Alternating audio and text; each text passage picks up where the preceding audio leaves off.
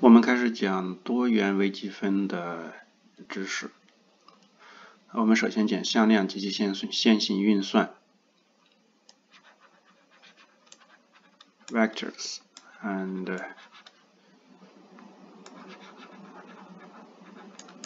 their operation）。这主要是讲讲线性运算，那之后其他的运算我们在下一个节目里面讲。那首先什么是 vectors 呢？就是什么是向量？向量是既有方向又有大小的一个数量。嗯，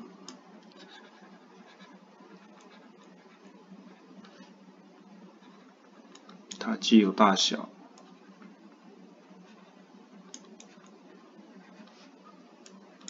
又有方向，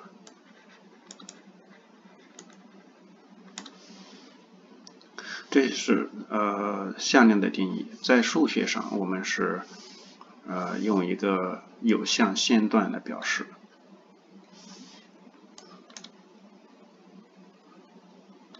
嗯，或者说是一个有向的线段。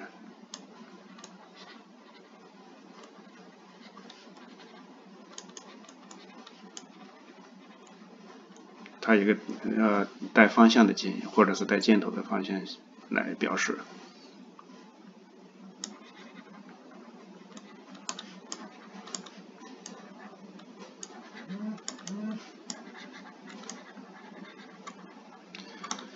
呃，它的向向量的长度，嗯，呃，我们或者说呃这个 magnitude。就是这个线它的这个线段的长长度，它的方向就是我们线箭头所指的方向啊。那在呃数学上，就是在书写上，我们可以用这个嗯字母上面带个箭头。这种来表示，用这个来代替在数学上。那它的呃长度，它的 magnitude，我们就是用来表示它的长度，或者说呃它的 magnitude。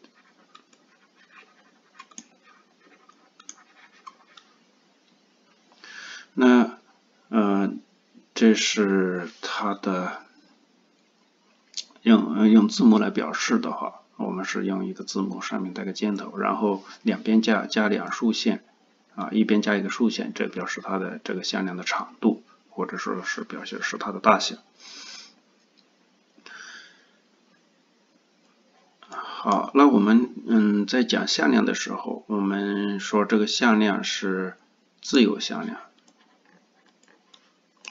什么是自由向量？也就是说，向量，嗯，我们只管它的，只要它的大小和方向是一样的，那我们认为是同一个向量，跟起点无关。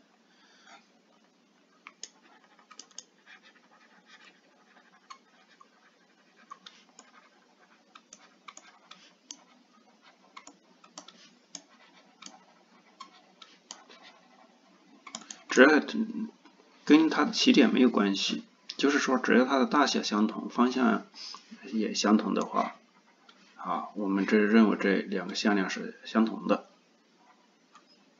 只要它的大小和方向都相同，那么我们认为它是两个向量是相等。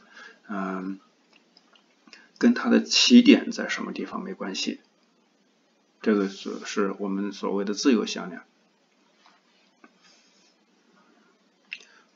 呃，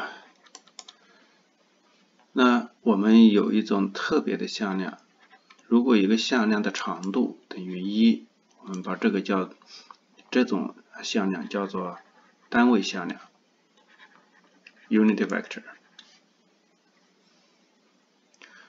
那我们把一个向量单位化，我们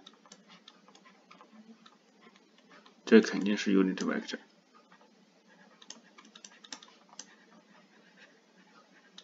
如果我们把一个向量除以它的长度，那这样的向量它就是一个单位的向量。那如果一个向量的长度等于零，那我们把这个叫做零向量。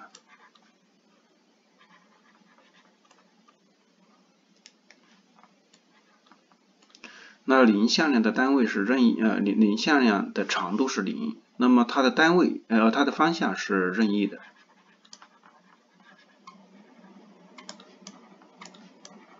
也也就是说你可以选任意选任意的方向作为零向量的方向。那呃下一个概念就是两向量的夹角。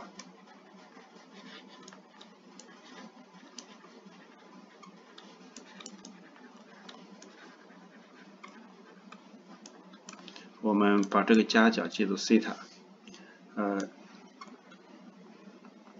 我们说是这样的夹角，两个向量的夹角，它们正方向正方向之间的正方向之间的夹角，这个西塔我们通常是零到派，我们例如说，如果是啊，这个是 a，这是 b 的话。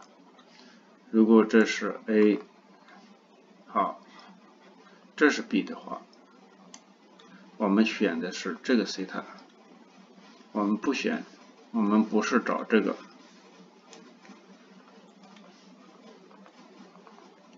啊，我们不选这个角度，我们选的是小于派的那个角度，这是我们选向量的夹角的时候，我们只取小于派的那个角度。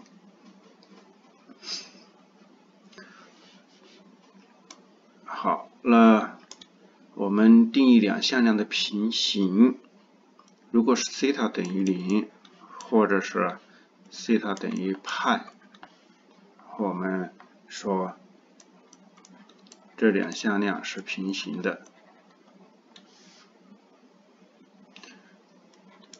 那有这样的一个定理，有这样一个最简单的定理，如果两个向量平行。那么其中一个向量肯定是可以写成另外一个向量的乘上一个常数，这是两向量平行的一个定义。前面这些都是向量的一些基本的一些概念，现在我们还没有太多的运算。那我们看一下啊两向量的加法，现在讲它们的运算。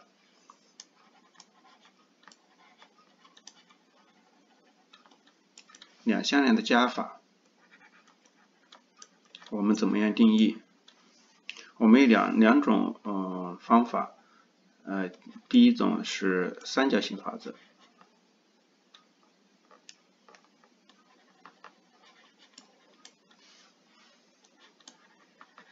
三角形法则，什么是三角形法则呢？我们先画 A。然后把起 B 的起点放在 A 的终点上，然后连接 A 的起点和 B 的终点，这个就是 A 加 B，这是三角形法则。还有一种叫平行四边形法则。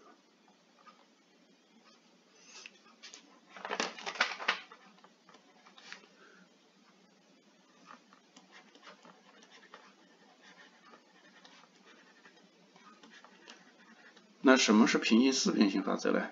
也就是说，我们把 A 和 B 的起点放到一起，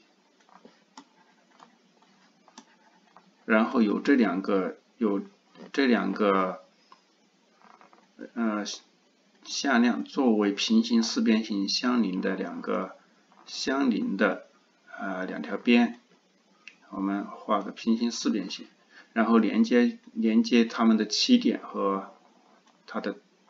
对角对角线啊和它的嗯对角的顶点，那这个就叫做，那么这个对角线啊对角线组成的这个向量是它们的相加，叫做 a 加 b。这是平行四边形法则。这是我们向量的加法。那有了向量的加法，我们就应该有向量的减法。减法我们要定义，我们先要定义一个负向量，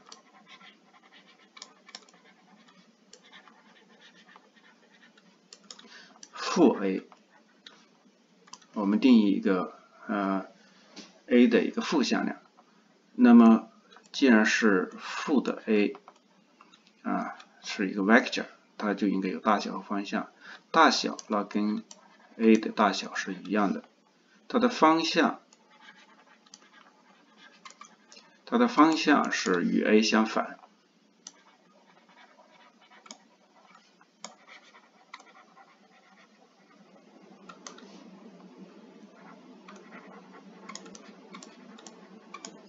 如果这是这是 a 的话。那么这是负 a，大小相同，方向相反的，这个是叫做负向量。那么有了负向量的定义，我们有减法，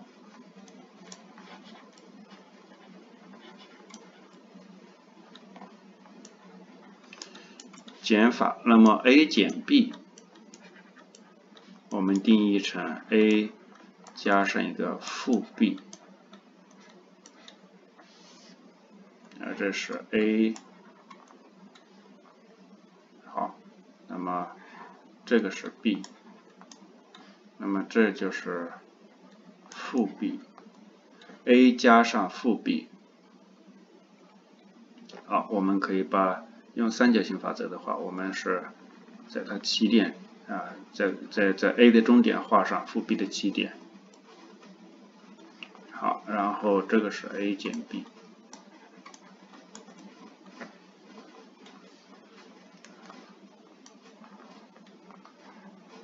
这个是 a 减 b，这是我们减法。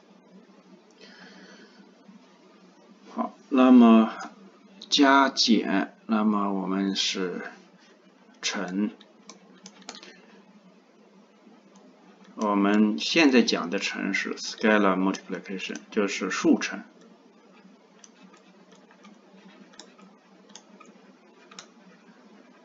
数乘。只是乘上一个数，将一个向量乘上一个数，那它的大小变了。它的大小是这个数的绝对值乘上 a 的长度，它的方向，它的方向如果是 lambda 大于零，那它的方向是跟 a 一样。如果 lambda 是小于零，那就是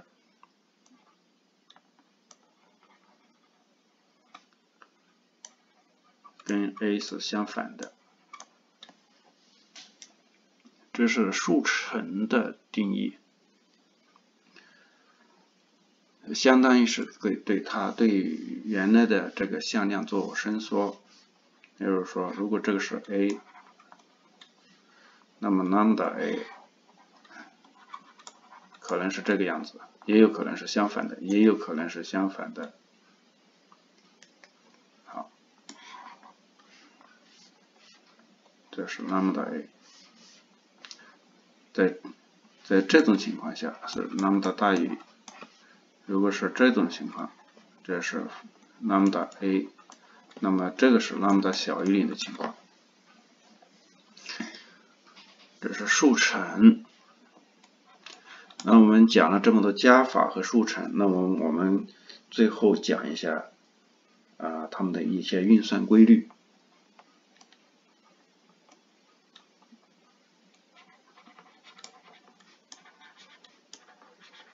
呃，其实这些运算规律啊，我们其实也，嗯，我们也不用解释太多，其实跟我们普通的加法和数乘是差不多的，a 加 b。等于 b 加 a，这跟我们普通数的加法差不多。a 加 b 加上 c，啊，先加 b 和 c，和先加 a 和 b 是一样的。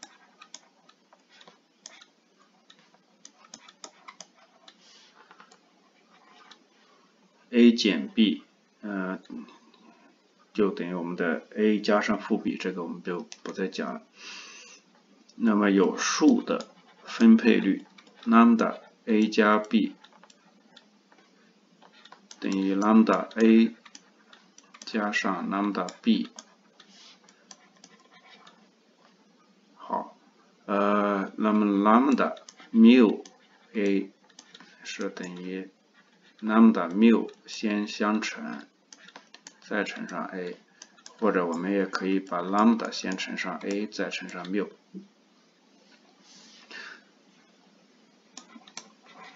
然后是 lambda 加上 mu 再乘上 a 来，两个数先加再乘，那么等于 lambda a 加上 lambda 啊加上 mu a，这些是基本的运算规律，跟我们普通的数的呃跟我们平常情况下这些数的加减乘除，啊我们这儿没有除法，加减乘。是一样的定义的，呃，这些都是一些基本的定义，啊，我们的这里的定义基本上是按照几何的方法来定义的，当然有些教材先讲的是的坐标，然后再用坐标的情形下，在坐标情形下去定义向量的加减和数乘，那我们嗯，在呃，引入坐标之前，我们讲向量的这些定义都是用几何的方法来定义的。我们在讲了坐标系以后，我们再来讲它的向量的坐标表达式和在坐标形式上，呃，坐标的呃形式下，我们怎么样做呃向量的一些运算。